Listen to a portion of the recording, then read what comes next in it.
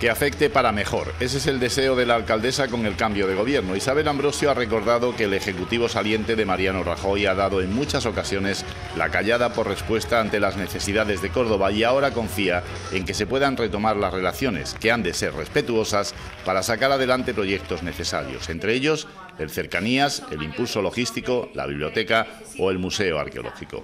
Normalizar la relación que es lo natural, a diferencia de lo que ha venido sucediendo, ha comentado Ambrosio. Dentro de esa normalidad y con los plazos que, se marquen, eh, poder retomar eh, la relación, insisto, eh, cordial, diplomática e institucional que debe de existir siempre entre el ayuntamiento de una ciudad y el Gobierno de España.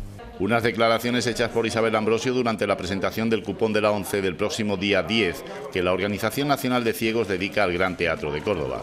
Se trata de una serie titulada Ciudades a Escena que la ONCE dedica a edificios culturales del Estado y por la que ya han pasado diferentes teatros andaluces.